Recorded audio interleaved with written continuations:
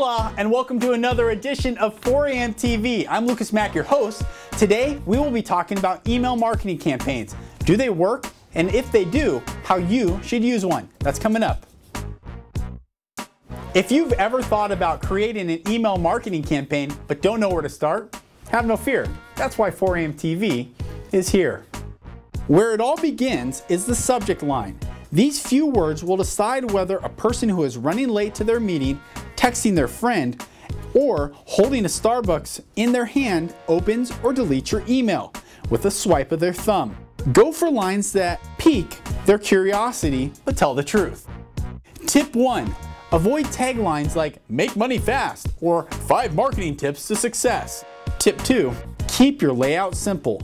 They don't want to navigate through a large and awkward layout on their mobile device or even on their personal computer. Stick to professional, sleek, and simple layouts. Avoid flashy graphics and in-your-face items. And tip number three, people don't have time to read a novel. Otherwise, they'd go buy The Great Gatsby.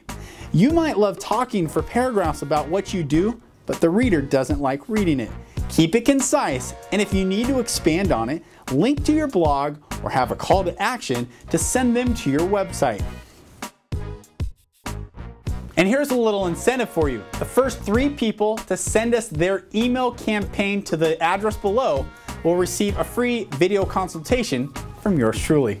I'm Lucas Mack. I'm looking forward to seeing you next Tuesday at 9. This has been another edition of 4AM TV, and I'll see you next week.